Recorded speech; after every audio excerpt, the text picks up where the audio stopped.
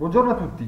Nella lezione di oggi continuiamo a parlare di Rousseau e tratteremo un altro dei grandi discorsi del filosofo ginevrino, cioè il discorso sull'origine della disuguaglianza.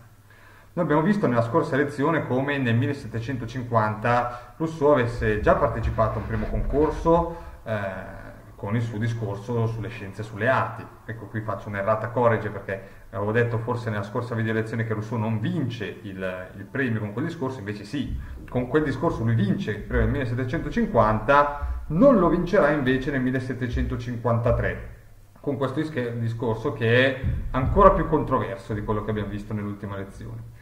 Ecco, qual è il tema lanciato in quest'anno dall'Accademia di Digione? Il tema è altro, un altro soggetto tipicamente illuminista, cioè eh, l'Accademia di Digione chiede di fare un elaborato sul, per rispondere alla domanda su qual è l'origine della disuguaglianza tra gli uomini e se questa disuguaglianza è autorizzata dalla legge naturale, cioè è conforme alla legge di natura.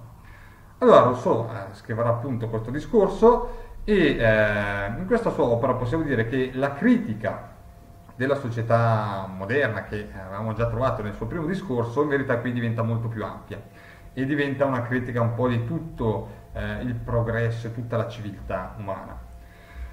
Ed è qui eh, che Rousseau parlerà eh, in maniera compiuta per la prima volta dello stato di natura, nel senso che eh, secondo Rousseau la vera fonte dei valori dell'uomo è la natura, la sua naturalità, il suo aspetto eh, istintivo e sentimentale se vogliamo, eh, quindi già qui vediamo come eh, Rousseau si distacca nettamente dall'illuminismo. Sentimento contrapposto a ragione, Rousseau dà grande prevalenza in questo caso alla, al sentimento, all'aspetto istintivo.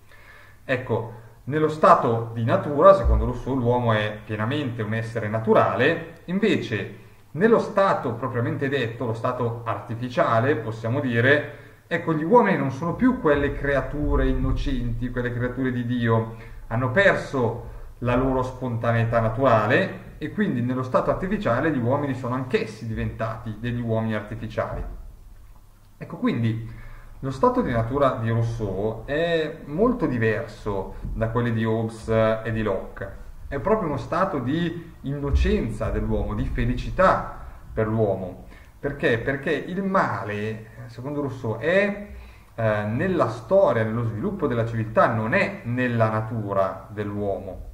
Quindi vediamo come ad esempio invece eh, lo stato di Hobbes fosse uno stato di guerra con lo stato di natura di Hobbes, uno stato di guerra di tutti contro tutti, lo stato di natura di Locke, uno stato in cui governato dalla legge naturale ma qui comunque i diritti dell'uomo non erano rispettati. Ecco, in verità lo stato di natura di Rousseau adesso faremo delle letture eh, decisamente più positivo. Ecco, anche in questo caso, teniamo sempre in presente, l'abbiamo detto sin dalla prima lezione sul giusnaturalismo, lo stato di natura, e lo stesso Rousseau a dirlo, è uno stato che non esiste più, che non è mai esistito e che forse non esisterà mai. Nel senso è proprio una costruzione ipotetica eh, che fa Rousseau, non si fa una ricerca diciamo antropologica.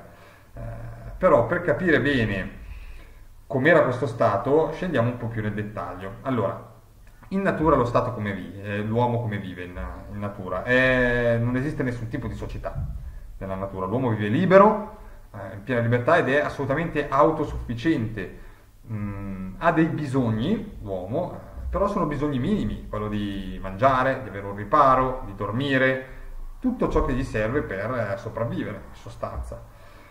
L'uomo nello stato di natura non ha eh, oltretutto nessun tipo di paura, non ha neanche paura della morte, ci dice Rousseau, eh, perché davvero questi non pensa al futuro, non programma, vive semplicemente il presente e vive in armonia, in equilibrio con la natura e con le risorse che la natura gli mette a disposizione. Quindi è un essere molto semplice.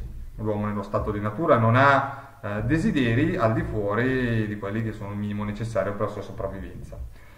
Come sono i rapporti però tra uomo e uomo nello stato di natura? Eh, per scoprirlo iniziamo a fare questa prima lettura. Sembra, a prima vista, che gli uomini, in questo stato, non avendo fra loro alcuna specie di relazione morale né di doveri noti, non potessero essere né buoni né cattivi, e non avessero né vizi né virtù. A meno che, prendendo queste parole in senso fisico, non si chiamino vizi nell'individuo le qualità che possono nuocere alla sua conservazione, e virtù quelle che possano contribuirvi. Nel qual caso si dovrebbe chiamare il più virtuoso quello che resistesse meno ai semplici impulsi della natura. Non credo di dover temere alcuna contraddizione, accordando all'uomo la sola virtù naturale che sia stato costretto a riconoscergli il denigratore più esagerato delle virtù umane. Parlo della pietà, disposizione conveniente a essere così deboli e soggetti a tanti mali come siamo noi. Virtù tanto più universale e utile all'uomo, in quanto precede in lui l'uso di ogni riflessione, e così naturale che le bestie stesse ne danno talvolta segni visibili. È dunque ben certo che la pietà è un sentimento naturale, che, moderando in ogni individuo l'attività dell'amor di se stesso, concorre alla mutua conservazione di tutta la specie. Essa ci porta impulsivamente in aiuto di quelli che vediamo soffrire. Essa, nello stato di natura, tiene luogo di leggi, di costumi e di virtù, con questo vantaggio, che nessuno è tentato di disobbedire alla sua dolce voce. Essa distoglierà ogni selvaggio robusto dal togliere a un debole fanciullo o un vecchio malato il cibo conquistato a fatica, se almeno speri di trovarne per sé altrove. Essa, in luogo di quella sublime norma di giustizia ragionata, fa agli altri quelli che vuoi fatto a te stesso, ispira a tutti gli uomini quell'altra massima di bontà naturale, assai meno perfetta, ma più utile forse della precedente fa il tuo bene col minor male altrui possibile. In questo sentimento naturale, in una parola, più che negli argomenti sottili, bisogna cercare la causa della ripugnanza che ogni uomo proverebbe a fare del male, anche indipendentemente dalle norme e dall'educazione. Per quanto potesse appartenere a Socrate e a altri spiriti della sua tempra l'acquistare la virtù per via di ragione, il genere umano non esisterebbe più da gran tempo se la sua conservazione non fosse dipesa che dai ragionamenti dei suoi componenti. Ecco, in questo brano Rousseau dice tantissime cose di grande interesse. Questa è la cosiddetta teoria del buon selvaggio di Rousseau. Eh, cosa ci dice? Allora, innanzitutto nella prima parte Rousseau dice che l'uomo nello stato di natura non ha apparentemente né vizi né virtù, o meglio, siccome il suo, l'unico suo desiderio è quello di autoconservarsi, eh, è quello il, l'individuo virtuoso è colui che eh, soddisfa i suoi impulsi naturali, che quindi eh, riesce ad autoconservarsi meglio, riesce a procacciarsi il cibo, riesce a procacciarsi un riparo, eccetera, eccetera. Ecco però, cosa, da cosa è spinto mm, l'uomo nello stato di natura? Sicuramente dall'amor di se stesso, come ci riporta uh, all'inizio del, del secondo capoverso Rousseau quindi l'autoconservazione è chiaramente l'istinto naturale che spinge ognuno, ogni individuo a cercare la propria sopravvivenza, ma poi è anche molto è fondamentale questo altro aspetto, la cosiddetta pietà. Eh, l'uomo nello stato di natura prova nei, verso i suoi simili un sentimento di pietà naturale, cioè eh, prova compassione. Il buon selvaggio per Rousseau è decisamente empatico e quindi non sottrae ad esempio il cibo all'anziano, al fanciullo, se eh, non è in una situazione di assoluta necessità.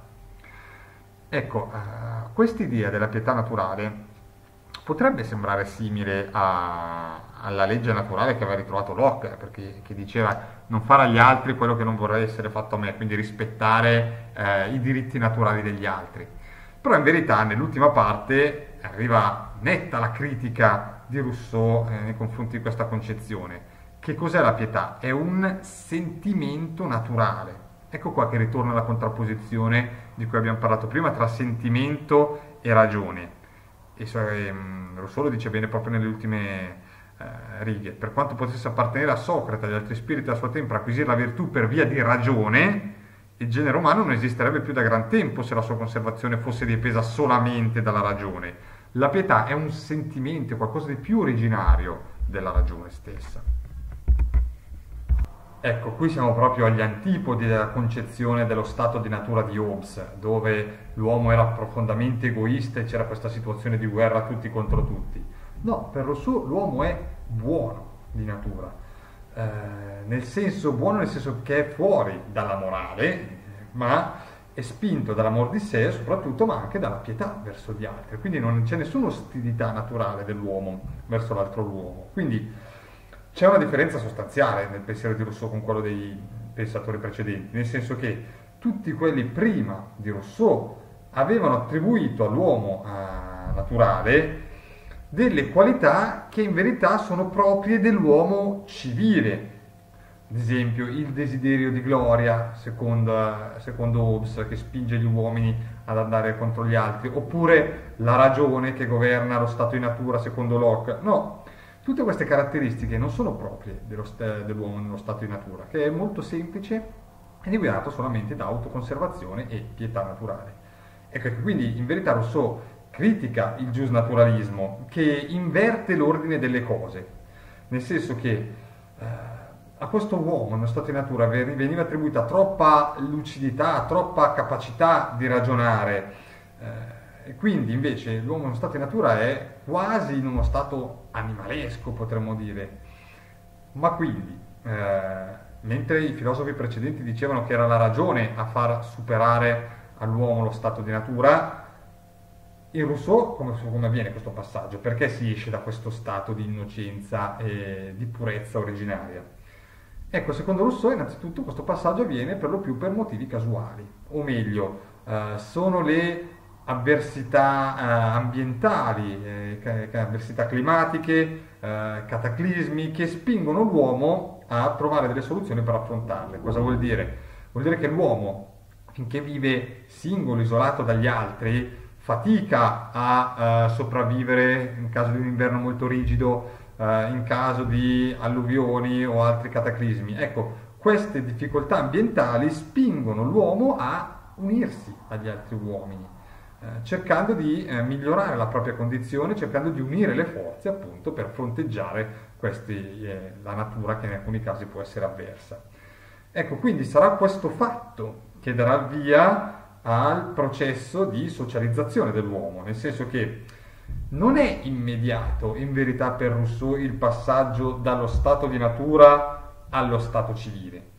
Cosa significa? Significa che in queste prime piccole comunità originarie, eh, per molto tempo gli uomini vivono ehm, felici, vivono in queste piccole situazioni di, eh, di socialità, eh, in queste piccole comunità basate sulle singole famiglie che vivono e che collaborano tra di loro. Anzi, tanto che Rousseau dice proprio che questo è probabilmente il periodo più felice di tutta l'umanità, quello in cui gli uomini iniziarono ad associarsi e a vivere in piccole comunità in cui i desideri erano comunque limitati, minimi, facilmente eh, soddisfabili. Però, in verità, già questo primo uh, unirsi in queste prime piccole forme di comunità dà via a un processo di eh, progressivo miglioramento materiale e tecnico, quindi si trovano eh, strategie per affrontare le avversità eh, della, natura, della, natura, si iniziano a costruire non più dei, eh, dei ripari eh, rudimentali ma delle case, inizi, inizia a mh, organizzarsi per eh, avere mh, a disposizione cibo migliore. Ecco, Iniziamo questo progresso tecnico che però vedremo porterà con sé un progressivo peggioramento morale, perché a poco a poco si perderà quella spontaneità naturale, nasceranno via via i desideri e nasceranno le disuguaglianze. Ecco, questo è il passaggio fondamentale del discorso sull'origine delle, della disuguaglianza e per capire come nasce, nasce la disuguaglianza e conseguenza come nasce lo Stato civile facciamo quest'altra lettura. Il primo che cintato un terreno, pensò di affermare questo è mio e trovò persone abbastanza ingenue da credergli, fu il vero fondatore della società civile. Quanti delitti, quante guerre, quante uccisioni, quante miserie, quanti orrori avrebbe risparmiato al genere umano colui che strappando i paletti o colmando il fossato avesse gridato ai suoi simili. Guardatevi dall'ascoltare questo impostore. Se dimenticate che i frutti sono di tutti, e che la terra non è di nessuno, voi siete perduti. È molto probabile che allora le cose fossero già arrivate al punto di non poter durare così come erano. Infatti, questa idea di proprietà, dipendendo da parecchie idee antecedenti che non sono potute nascere se non in successione di tempo, non si formò tutto a un tratto nello spirito umano. Fu necessario fare molti progressi, acquistare molte abilità e molte cognizioni, trasmetterle e arricchirle di generazione in generazione prima di giungere a quest'ultimo termine dello stato di natura. Ecco, con queste altre bellissime parole Rousseau ci fa capire già qual è l'origine della disuguaglianza. Tutto nasce quando nasce la proprietà privata, quando i primi uomini riuniti in queste comunità iniziano ad affermare, ad esempio, questo pezzo di terreno è mio, quest'albero è mio, questo prodotto è mio. Quando si afferma la, la convinzione che i frutti della terra, eh, della natura, non sono di tutti, ma che uno può reclamare per sé parte di questi prodotti, ecco che si afferma il concetto di proprietà privata e eh, che porterà con sé delle gravi conseguenze, dice Rousseau, uccisioni, miserie, errori, eccetera, eccetera. Quindi tutto nasce con la nascita della proprietà, della proprietà privata. Finché gli uomini si contentarono delle loro capanne rustiche, finché si limitarono a cucire le loro vesti di pelli con spine di vegetali, con lische di pesce, a ornarsi di piume e conchiglie, a dipingersi il corpo con diversi colori, a perfezionare o abbellire i loro archi e le loro frecce, a tagliare con pietraguzze, canotte da pesca o qualche rozzo strumento musicale. In una parola, finché si dedicarono a lavori che uno poteva fare da solo, finché praticarono arti per cui non si richiedeva il concorso di più mani, vissero liberi, sani, buoni, felici, quanto potevano esserlo per la loro natura, continuando a godere tra, loro, tra loro le gioie dei rapporti indipendenti. Ma nel momento stesso in cui un uomo ebbe bisogno dell'aiuto di un altro, da quando ci si accorse che era utile a uno solo avere provviste per due, l'uguaglianza scomparve, fu introdotta la proprietà, il lavoro diventò necessario e le vaste foreste si trasformarono in campagne ridenti che dovevano essere bagnate dal sudore degli uomini e dove presto si videro germogliare e crescere con le messi la schiavitù e la miseria. Ecco, qui ancora Rousseau ribadisce che col progresso materiale, nel senso man mano che eh, si inventano nuove tecniche, nascono anche nuovi bisogni nell'uomo.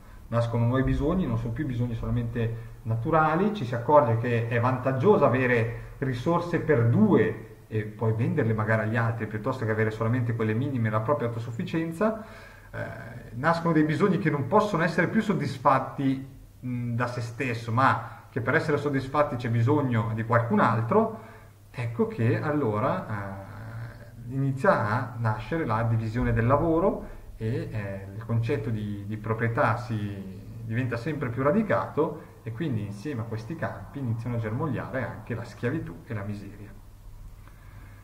Questa grande rivoluzione nacque dall'invenzione di due arti, la metallurgia e l'agricoltura. Per il poeta, a civilizzare gli uomini e a mandare in rovina il genere umano sono stati l'oro e l'argento, ma per il filosofo sono stati il ferro e il grano. Ecco qui, innanzitutto, vediamo come eh, Rousseau si distanzia da, da, se stesso di tre anni prima, eh, mentre sostanzialmente prima diceva che era soprattutto la cultura a rovinare l'uomo, adesso ormai è concentrato sulla, sull'economia, possiamo dire, e sulla proprietà privata. Nel senso a mandare rovina all'umanità sono stati il ferro e il grano, cioè proprio la nascita di queste attività specializzate. Ecco l'uomo, che prima era libero e indipendente, assoggettato per così dire a tutta la natura da una quantità di nuovi bisogni e soprattutto assoggettato ai suoi simili di cui diventa, in un certo senso, schiavo perfino quando ne diventa il padrone. Ricco ha bisogno dei loro servizi, povero ha bisogno del loro aiuto e la mediocrità non lo mette in grado di non farne conto. Ecco, quindi vediamo che eh, gli uomini sono sempre più legati tra di loro, in un eh, rapporto di mutua interdipendenza. Il povero ha bisogno di, del ricco che gli dia da lavorare e gli garantisca di poter acquistare dei beni, il ricco però ha bisogno del povero perché, eh, per farlo lavorare. Bisogna dunque che cerchi senza posa di cointeressare della sua sorte, facendo in modo che, di fatto in apparenza, trovino il loro utile a lavorare per il suo utile. Ecco che qui sta parlando del ricco. Mm? Ciò lo rende astuto e ipocrita con gli uni, imperioso e duro con gli altri, e lo costringe ad ingannare tutti quelli di cui ha bisogno, quando non può farsi temere e quando non prova il, tro- il proprio tornaconto a servirli utilmente. Infine, l'ambizione che lo divora l'assillo di elevare la propria relativa fortuna, non tanto per un vero bisogno, quanto per collocarsi al di sopra degli altri, ispira a tutti gli uomini una cupa inclinazione a nuocersi a vicenda, una segreta gelosia, tanto più pericolosa in quanto, per fare il suo colpo con più sicurezza, si mascora spesso da benevolenza. In una parola, concorrenza e rivalità da un lato, conflitto di interessi dall'altro e sempre il desiderio nascosto di fare il proprio interesse a spese degli altri. Tutti questi mali sono il primo frutto della proprietà e il corteo inseparabile della disuguaglianza nascente.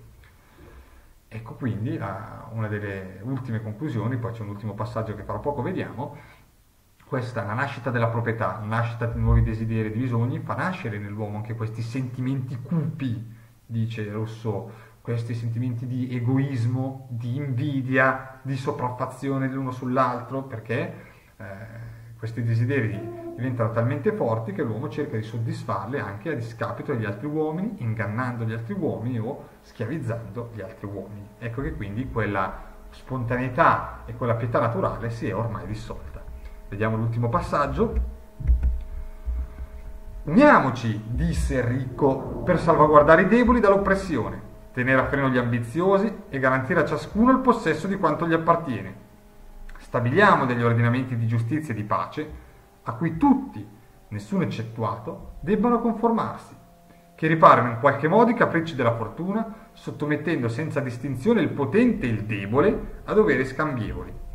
In una parola, invece di volgere le nostre forze contro noi stessi, concentriamole in un potere supremo che ci governi con leggi sagge, proteggendo e difendendo tutti i membri dell'associazione, respingendo i comuni nemici e mantenendoci in un'eterna concordia. Questa fu, almeno è probabile, l'origine della società delle leggi, che ai poveri fruttarono nuove pastoie e ai ricchi nuove forze, distruggendo senza rimedio la società naturale, fissando per sempre la legge della proprietà e della disuguaglianza, facendo di una corta usurpazione un diritto irrevocabile e assoggettando ormai, a vantaggio di pochi ambiziosi, tutto il genere umano al lavoro, alla servitù e alla miseria. Ecco, prima di commentare quest'ultimo passaggio tiriamo un po' le fila del discorso di Rousseau e arriviamo a conclusione di questa lezione. Allora, abbiamo visto che è la nascita della proprietà privata eh, che porta con sé la divisione del lavoro, il fatto che si inizia a produrre più del necessario, il fatto che iniziano a nascere dei nuovi desideri negli uomini, si afferma quindi il concetto che eh, alcune cose possono essere considerate di proprietà privata di alcuni e non di altri, non più un bene comune. Eh, ecco, con questo cosa nascono? Nascono le differenze sociali, ci sono i ricchi, ci sono i poveri, nasce l'avidità, nasce l'egoismo, nasce l'invidia ed ecco che si arriva a quella situazione di guerra tutti contro tutti che aveva già eh, individuato Hobbes, ma ormai abbiamo visto con una importante differenza, perché per Hobbes questa situazione era tipica dello stato di natura, per Rousseau invece è tipica della società civile e dello stato artificiale. Quindi non c'è la guerra nello stato di natura, invece emerge quando gli uomini si uniscono in società. Ecco, arrivando a commentare l'ultimo passaggio, quindi mh, questa situazione di guerra contro tutti contro tutti, però allora a questo punto eh, genera un problema, genera un problema per tutti, genera il fatto che eh, non c'è più la sicurezza, la vita di ciascuno è messa in pericolo e quindi ecco che per porre rimedio al caos si rende necessario un patto. Ecco che anche Rousseau parlerà del patto, in questo caso il cosiddetto patto iniquo. Un patto che garantisca, eh, come abbiamo letto, la, la, salvaguardia dei deboli dall'oppressione, eh, tenere a freno l'ambizione, eh, garantire a ciascuno il possesso di quanto gli appartiene. Quindi un patto che garantisca la sicurezza di tutti, ma che garantisca soprattutto il rispetto della proprietà. Ed è per questo che Rousseau parla di un patto iniquo, cioè ingiusto, perché la proprietà, abbiamo visto, è un inganno originario, non esiste la proprietà privata in natura. Eh, quindi un contratto che va a salvaguardare la proprietà è un contratto iniquo, perché qualcuno la proprietà ce l'ha e altri non ce l'hanno. È in questo modo, secondo Rousseau, che nasce lo Stato, nascono le leggi, queste leggi però non sono altro che eh, l'istituzionalizzazione delle disuguaglianze. In natura non c'erano le disuguaglianze, le disuguaglianze sono nate con la proprietà privata, la proprietà privata ha fatto nascere la situazione di guerra tutti contro tutti, allora sono i ricchi a proporre la nascita dello Stato, perché sono loro che hanno convenienza nella creazione di uno Stato e di leggi che garantiscano il rispetto della proprietà privata che hanno loro e li difendano dall'invidia e dalla possibile aggressione di chi invece la proprietà privata non ce l'ha. Ecco che quindi eh, la nascita dello Stato fa sì che i poveri si trovino eh, cristallizzati in una situazione di inferiorità da cui non possono eh, più liberarsi perché ci sono proprio delle leggi che, hanno, eh, che garantiscono il fatto che chi eh, ha la proprietà, chi è ricco, è in una posizione di superiorità. Ecco, quindi abbiamo visto come Rousseau, con questa, questa parte, arriva a criticare fortemente eh, lo sviluppo della civiltà umana. Nel senso, tutto il cammino della storia dell'uomo è mh, mm, opera dell'inganno dell'uomo sull'uomo e si basa sull'oppressione del ricco sul povero. Ecco, poi Rousseau dice che non si può tornare indietro, eh, non si può sperare di poter tornare allo stato di natura. Eh, però, anche se non si può tornare indietro, in verità l'uomo mantiene sempre dentro di sé eh, il desiderio di tornare a quella libertà originaria, a quell'uguaglianza originaria.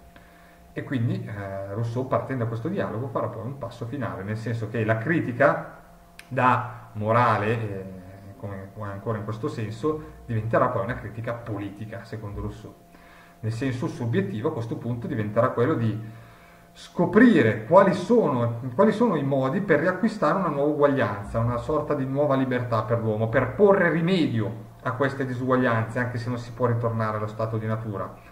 E quindi lui inizierà a cercare di scoprire quali sono le istituzioni e il tipo di governo più adatti a formare un popolo virtuoso che recuperi quella eh, spontaneità e uguaglianza originaria.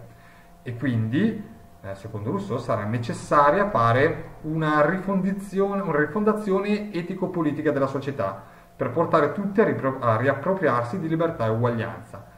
Lo Stato in cui eh, Rousseau vive, la società in cui si vive è una società fondata su un patto iniquo, sarà necessario un nuovo tipo di patto, un nuovo tipo di contratto, che sarà quello che Rousseau chiamerà il contratto sociale la grande opera in cui Rousseau appunto esporrà la sua idea del governo ideale, del governo migliore per ritornare a garantire a tutti l'uguaglianza in cui esporrà veramente tutto il cuore del suo pensiero democratico. Ma queste cose le vedremo poi nella prossima video lezione. Per oggi terminiamo qua.